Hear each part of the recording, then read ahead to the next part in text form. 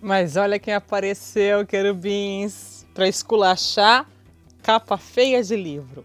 Mas antes, preciso dar os meus aplausos, os meus parabéns para duas capas. A primeira eu não tenho porque eu me recuso a ter na estante, que é essa.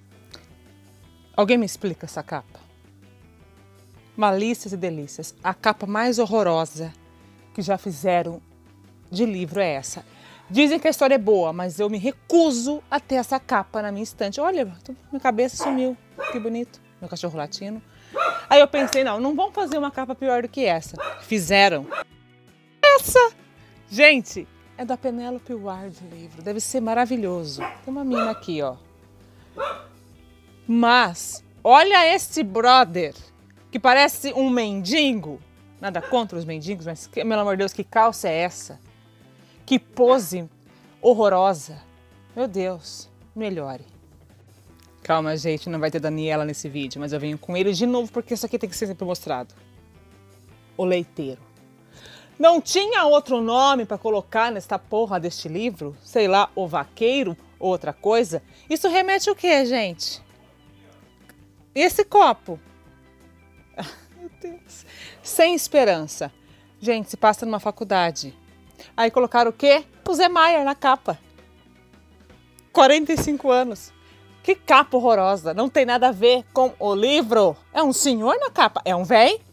Chocadíssima. Aí eu venho com o último dos canalhas. Olha esse brother.